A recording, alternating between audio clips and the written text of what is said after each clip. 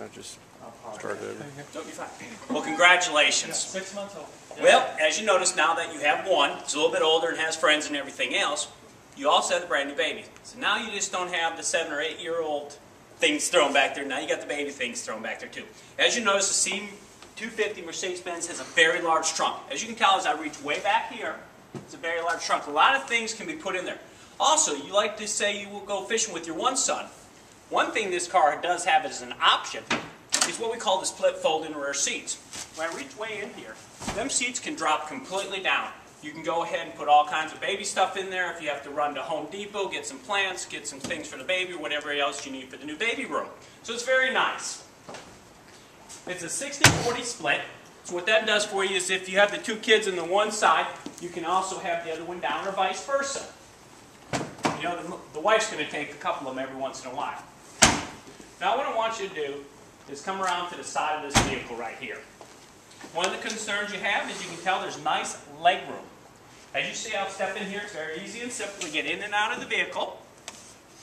All your controls are here to roll down the windows and everything else. What's nice is you can also lock them so your kids can't get back there. One of the things you were very concerned about is safety. You'll have all the safety child restraint seats back there. You also have the tethers, what we call it, to lock in the baby seats and everything else. Before we go inside the vehicle, what I'd really like to do is show you under the hood. As you go to a lot of the manufacturers out here, as you're looking at the different products, the Lexus, the BMW, and everything else that you're considering, what's really nice is the hood goes extremely far up. A couple things I've noticed. When you sit in the passenger seat, you'll also notice if something was ever happen and this hood was to go up, you can actually get a clear vision of the road because the hood's going to go extremely left. What else it does is give the mechanics an opportunity to work on your engine.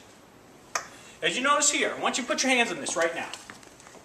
See how this rubber gasket goes all the way around the car? Okay, it does serves a purpose. And what it is, is the air comes in, comes over the engine, cools it. What's really nice is when you close this hood, this actually seals off. A lot of the air you're breathing inside the cabin comes in here. Doesn't come off the engine, which is really nice. I want you to touch this bar. Pull your hand on this bar. Found out from Mercedes-Benz that's cost about $79. They say all cars are built equally. They're not. Okay? Are they all the same price? When you go and look at them, all the window stickers are basically the same price. Do they all cost the same to build? Probably not. This is one example. You know what that is? That's a high-strength allied steel bar. Imagine yourself in a car. Car's just like this. You get in an accident.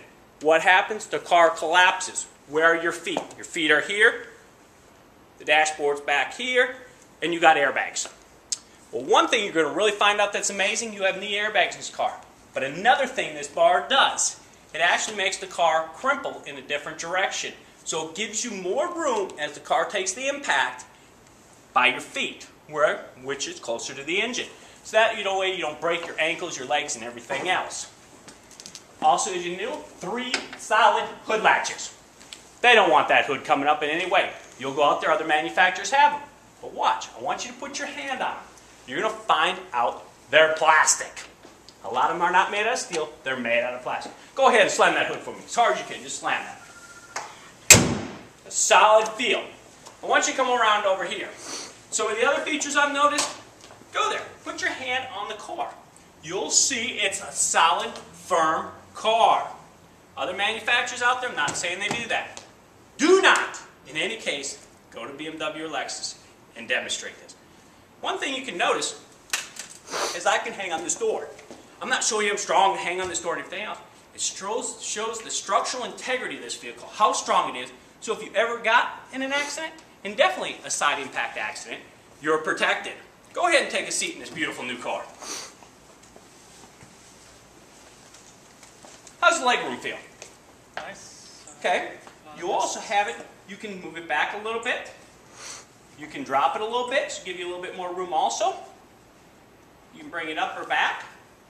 You have 14-way adjustable position on that, including your lumbar, which is all air right here. This is all powered, up and down, in and out. So you can adjust it to exactly the way you feel comfortable driving. The more comfortable you feel driving this vehicle, the safer you're going to be, believe it or not. Okay? Did you notice everything is right up in front of here? It's up in front, shows you everything that you can guide and direct the car off of. Okay? You also have it over here to the side. It's called the multimedia program if you have it. You also have what we call the mouse, just like on a computer. Works and guides and everything, and it's directed, makes it very easy. Now, can you imagine you and your wife, with the two little ones in the back, going for a nice drive? You can go a long distance and everything else. What I'd like to do now is get a copy of your driver's license, take you outside, go over the car a little bit more in detail with you, and take it for a little test drive. Most important thing, a lot of people tell me, no, no, I don't want to test drive, I want to test drive. Every car drives differently. I want you to feel this car and how it holds to the road, the strength, the power. Okay? 201 horsepower. This is a four cylinder. It's direct fuel injection, high pressure. Which that means to you is 21 miles to the gallon in the city and 31 miles on the highway. I always tell people that's low ball. What we'll do is we'll set the um, trip and we'll take it for a little test drive. You'll probably see we'll get about 33, 34 on the highway, which is really nice. Let me see that copy of that driver's license real quick for you.